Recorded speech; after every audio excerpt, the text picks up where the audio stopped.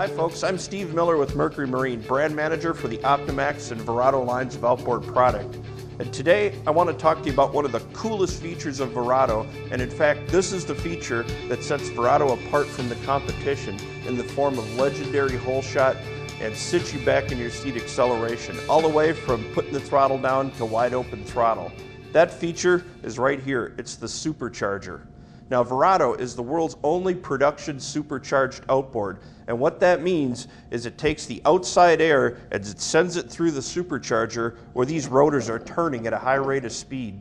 By doing that, the outside air is compressed so you can fit a higher volume of it into a smaller space. And that in turn generates lots and lots of torque. And that's what gives you that great acceleration. Now, the nice thing about Verado is it's also the world's only self compensating outboard because it's supercharged. What that means is regardless of whether it's hot or cold, you're going to get consistent, strong performance day in and day out. This is just one feature that Mercury has that's designed to maximize your time on the water and give you the best possible driving experience.